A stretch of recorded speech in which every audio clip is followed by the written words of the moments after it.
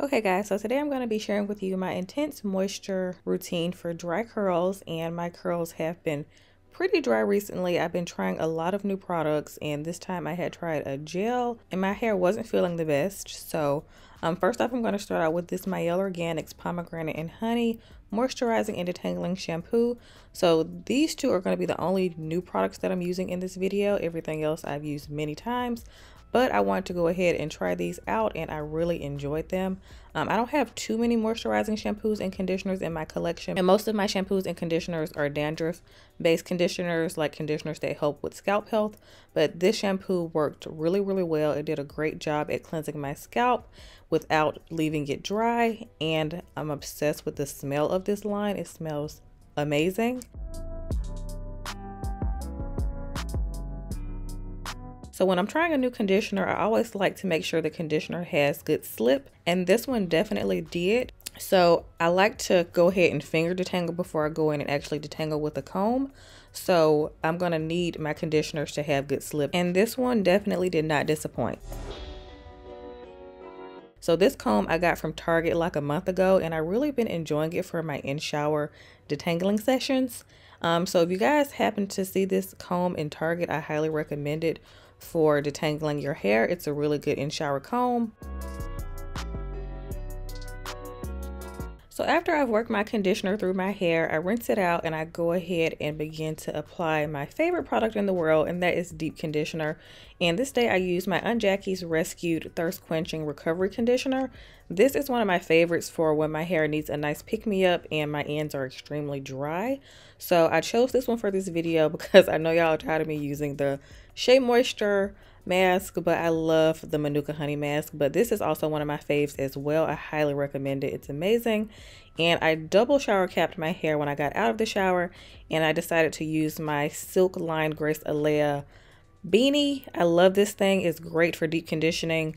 And I also put another beanie over top just to trap the moisture inside of my hair because like I said, this is a intense moisture routine. So I use my handy dandy Gold 'N Hot blow dryer attachment and I set under the dryer for 20 minutes.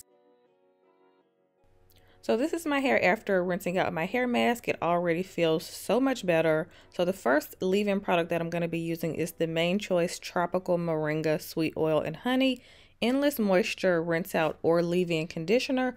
This is one of my favorite conditioners. First of all, the smell is impeccable, but the product is really, really good to prep your hair before you go in and style. This is a great first product to use during your moisture routine. It's one of my favorites. So I just applied this to each side of my head before I went in and did my subsectioning. Um, and I went ahead and used my Tangle Teezer to brush the product through as a nice prep before styling. You don't want to be detangling and brushing your hair out while you're styling. It just slows down the process.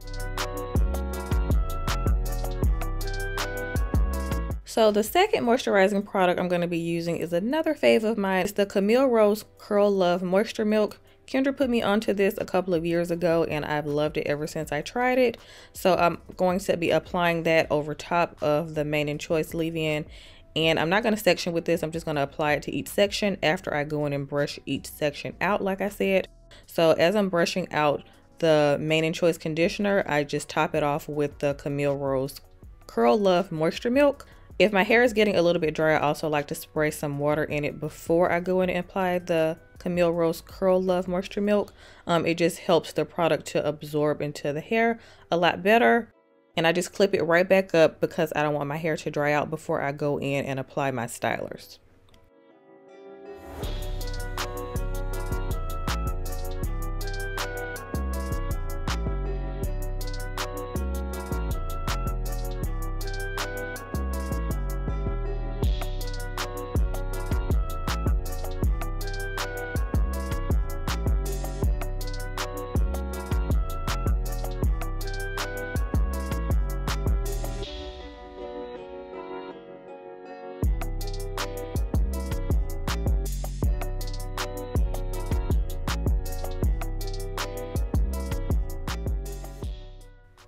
Okay, now moving on to the styling portion. So I like to split my hair into either two or three subsections per subsection. I hope that makes sense. So the styler I'm going to be using is the Camille Rose Fresh Curl Revitalizing Hair Smoother. So this is like a gel cream. So if you've ever used a gel cream before, it has like a lighter hold. It's not gonna hold your hair like a regular gel. So if you like extreme hold, you probably won't like this, but I really enjoy this if I just want like moderate hold and I'm just wanting to focus on the moisture of my hair because like I said my hair was extremely dry at the beginning of this video. I'm also trying a new technique. Well it's new to me because I used to not do this but I've been finger coiling lately and I actually have really been liking it. I just used to not do it because it was kind of time consuming and I didn't notice a huge difference before but I have been noticing a difference when I've been doing it recently and I've been liking it. So that's what I'm doing here as I'm applying the fresh curl to my hair. And it actually didn't take me that long because, like I said, my hair was nice and moisturized and detangled. Makes a world of a difference if you go ahead and get that out of the way before you start styling.